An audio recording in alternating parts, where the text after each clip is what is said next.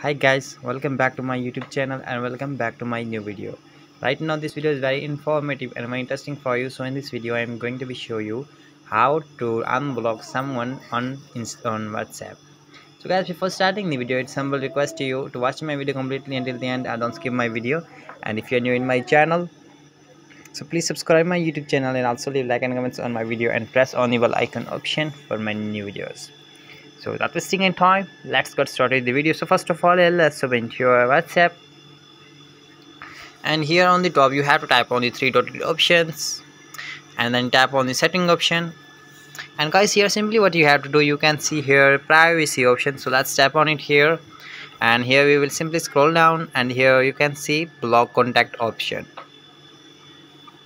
so after type on it here. What you have to do you can see here i have seven contacts uh, i have blocked seven contact.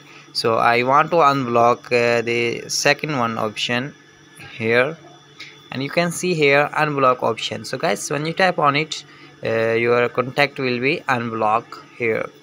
So you have to type on the unblock options. And when you tap on it your contact will be unblocked permanently so guys i hope your problem will be fixed. So if your problem will be fixed please tell me in the comment box. And if you have any issue about instagram facebook whatsapp so you can tell me in the comment box.